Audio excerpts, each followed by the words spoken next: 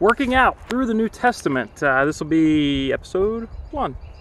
So I'll do a little introduction and then I'll just get right to the, uh, the first lesson. So came up with this idea uh, called working out through the New Testament, uh, which would be like a, a daily Bible reading plan uh, and a daily devotional plan where I read through the New Testament just one section of Scripture at a time uh, goal, you know, a full chapter, more than a chapter, less than a chapter if it's really dense.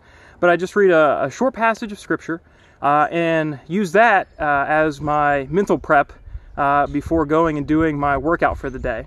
Uh, so the idea is that while I'm working out, I'll be reflecting on the passage that I just read and, and thinking about the significance of that passage, uh, what it truly means, what it meant to uh, the original audience, the original recipients of the gospel message, to those who were present, the eyewitnesses that are, re- that are that were seeing with their own eyes the things that I'm now reading about, and thinking about how that passage can apply to my life to build up my own faith, uh, to strengthen my own pursuit of righteousness and godliness and living uh, to His glory. And so I wanted to share these uh, to encourage uh, anyone who wants to follow along to get into God's Word uh, more regularly, uh, but also uh, to, to be more physically active. Um, the, the reason that I came up with this little idea and little challenge for myself is that I found that I do some of my, my best thinking uh, when I am working out. Um, it just seems like when my body is working, my mind starts working harder. So that's why I wanted to do this. Uh, so with that brief introduction, let's just get right into the first uh, devotional, if you will. So for for today's episode one lesson, uh, I read the opening of Matthew. I read the first 17 verses of chapter one, uh, the genealogy of Jesus, the genealogy of Christ. And so, because this is the first chapter of, of, a, of a book, uh, I'll give just a very brief intro to the book of Matthew. So, Matthew, one of the, uh, Christ's apostles, uh, was uh, a Jew and was a tax collector. Um, and he is writing the gospel message uh, with a Jewish audience in mind.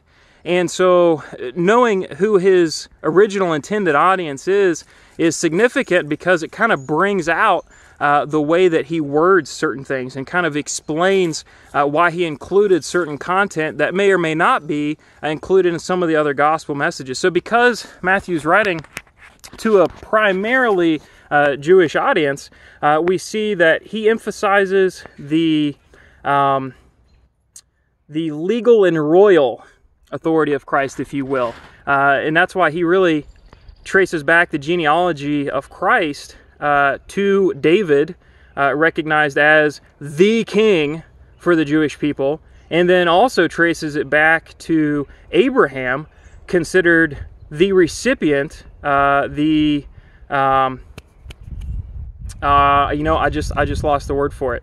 But uh, he, he's considered the, the pinnacle recipient uh, through whom all of the Jewish people would receive the inheritance from God. So, by Matthew tracing back the genealogy of Christ through these, he establishes uh, Christ's identity as the true king from a royal standpoint through a sovereign standpoint, through a ruling standpoint of the Jews. Uh, but then by tracing back to Abraham, uh, he connects Jesus to the true heir of God's promises for the Jewish people. And then that's later on explained by Paul through Galatians. And if you read more of the Old Testament and, and, some more throughout the New Testament, you recognize that this heir, this inheritance, it's for, for all people uh, through Christ as the inheritor of that promise. Anyway, I just bring that up because it's important to acknowledge uh, that Matthew is, as a tax collector, uh, he's he's going to be pretty on point with his record keeping, and the record keeping is extremely important to the Jews because establishing a genealogy uh, was what granted legal status. That's what granted property rights. Uh, that's also what allowed priests to maintain their priestly status. Uh, priests had to keep a record of their ancestry in order to show that they had proper authority to be a priest. If a priest couldn't show that they had uh, a priestly ancestry, then they were no longer allowed to maintain that office. And so that's why it's so important from the Jewish perspective that Matthew includes this genealogy and, and Matthew establishes Jesus as, as the king and as the recipient, the inheritor of the promises of God for all people. And so, my true little daily devotional, that's just a little backstory for Matthew, is, and what I was reflecting on uh, while I was doing my workout, um, is uh, I'll call it a word of the day, uh, is legacy and I was thinking about uh, how the legacy of Christ was very complicated in his ancestry.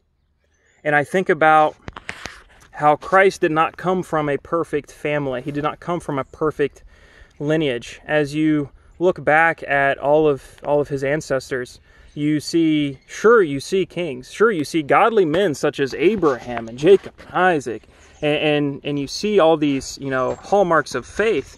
Uh, but then you also see evil kings. You see wicked people. You see adulterers. You see idolaters.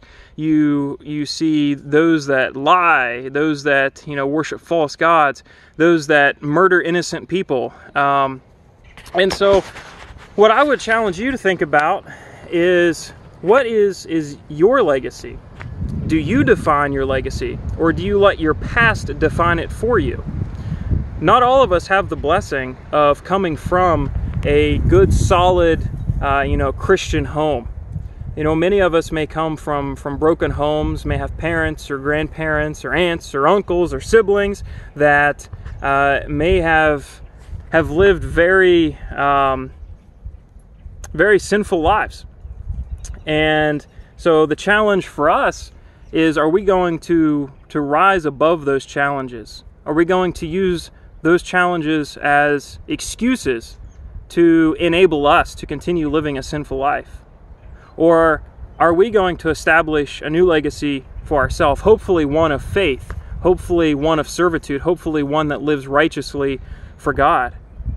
And so those were the things that I was reflecting on that your past does not define your present, and you define your future.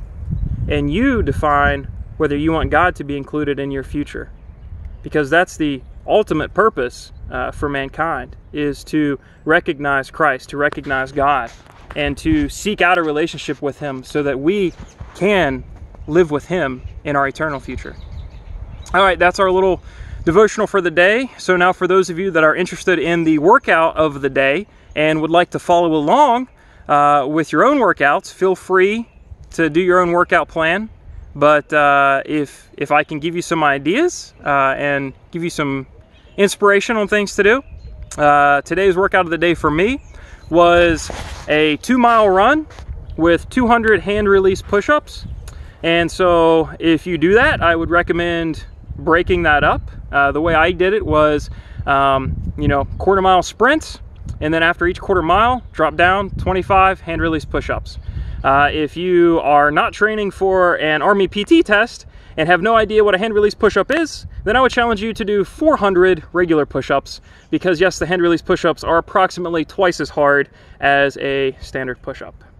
That's it for today. I promise that uh, the rest of these will not be quite so long, but I wanted to give a proper introduction so that uh, you guys would see where I'm coming from and uh, hopefully uh, be inspired to do your own daily reading and to do your own uh, daily fitness. Keep the faith, keep the fit.